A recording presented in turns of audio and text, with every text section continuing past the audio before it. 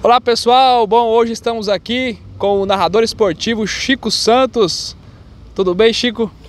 Tudo bem, um abraço para você e a todos os telespectadores aí do Bola na Rede, programa tradicional aí da nossa querida cidade de Maringá, apresentado pelo Ananias Rodrigues, com o competente é, comentarista Dr. Júlio Meneghetti, né? E sempre a participação de muitos amigos. Estamos aqui à disposição. Isso aí. Fala um pouquinho da sua vida profissional, né? Como começou a sua carreira e que você também está com os projetos agora.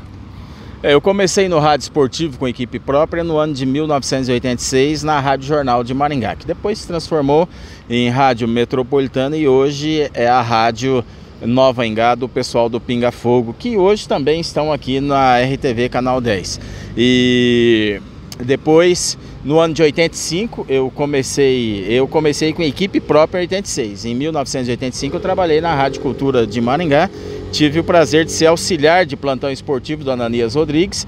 Depois ele foi para Campinas trabalhar com a hidrotécnica piscinas, né? Gerente, o cabra bom, só chefia lá na área de piscinas, né? Aí eu fiquei como plantão esportivo oficial. Naquela época a equipe Antônio Paulo Puca, Renato Taylor Negrinho, Otacílio Tata Cabral, Valdir Pinheiro, é, Manuel Orlando, uma equipe lá e a gente novinha ali no meio aprendendo com as feras da comunicação e o Ananias, essas pessoas aí, eles foram um incentivo para mim continuar nessa área aí do esporte. E os projetos agora, como que estão aí a, o andamento? Bom, hoje eu tenho meu site, o radardanoticia.com.br. O Radar surgiu, nós tivemos uma época, uma época com o programa Radar da Notícia no rádio, já teve na Rádio Atalaia de Maringá, na Rádio Ingamar, na Rádio Banda 1.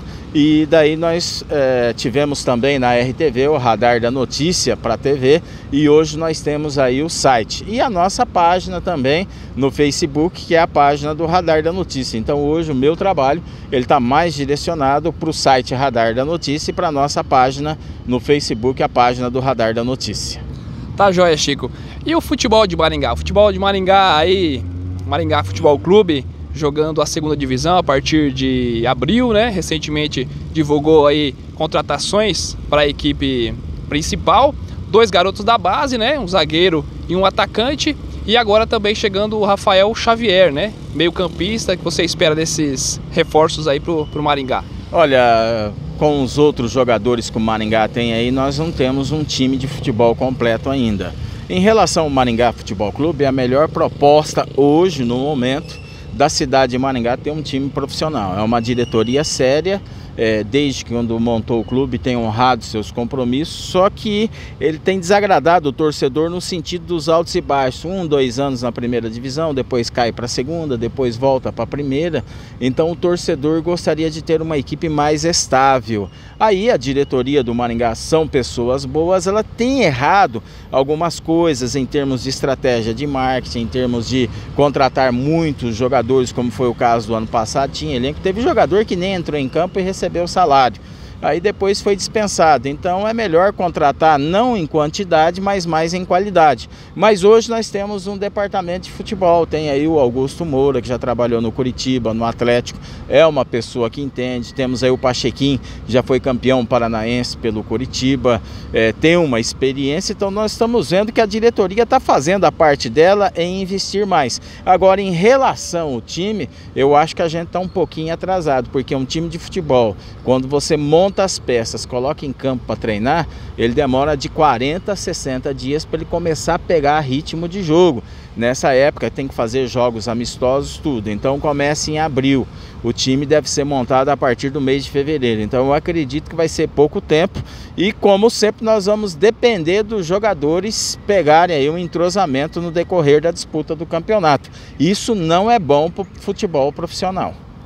A respeito do Chico Santos, é, para narrar a segunda divisão, é, do Maringá, vamos torcer também para o Grêmio também aparecer é aí, né? verdade, né? É. é. você vê que a cidade de Cascavel, que não tem é, um histórico de futebol, uma tradição de futebol como Maringá, tem hoje o Cascavel CR e o FC Cascavel. São duas equipes na primeira divisão.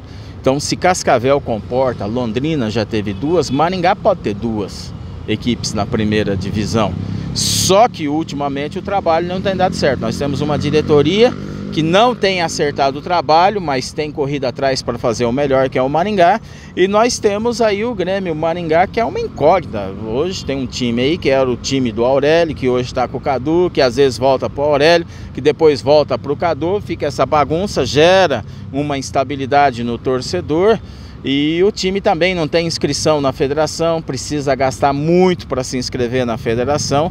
Então é muito difícil. Eu torço para que o Grêmio volte, porque eu acho que Maringá comporta duas equipes, mas hoje, sem dúvida, a melhor proposta de futebol profissional ainda é a do Maringá Futebol Clube.